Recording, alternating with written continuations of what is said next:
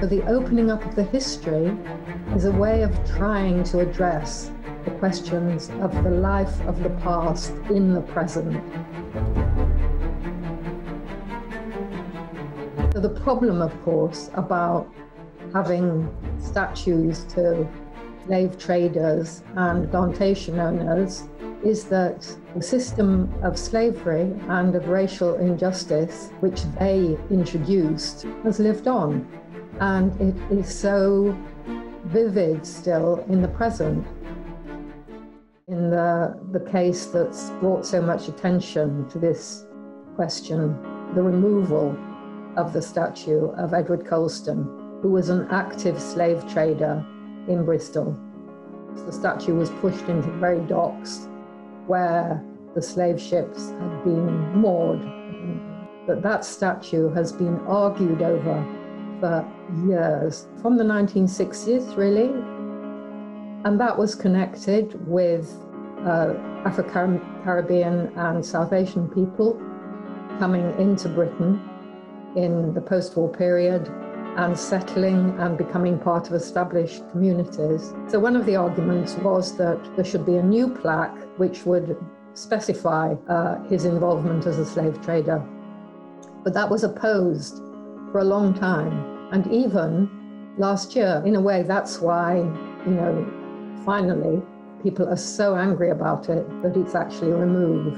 The killing of George Floyd has just, I mean, it's caused an eruption here, which nobody could have predicted that it was going to happen at this moment.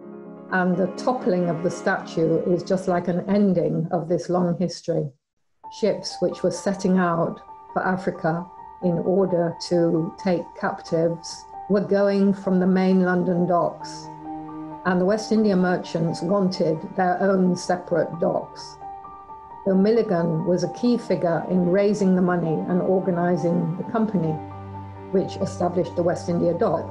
Unlike Colston, that was actually a statue set up at the time. That became a really problematic symbol. Uh, I was part of a group actually that was commissioned to plan a new permanent gallery in the Museum of London in Dockland, centred on the story of London, sugar, and slavery. So when that exhibition was opened, the statue of Milligan was actually covered, but then the exhibition has remained, but the statue was uncovered. So there again, there's been you know a long history of people objecting to that statue.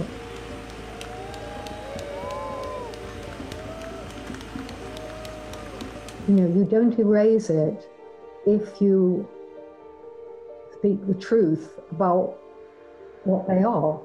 So if Nelson's column had a large plaque explaining that Nelson was a pro slaver and a deeply reactionary man, um, as well as an admiral who, who successfully fought the French.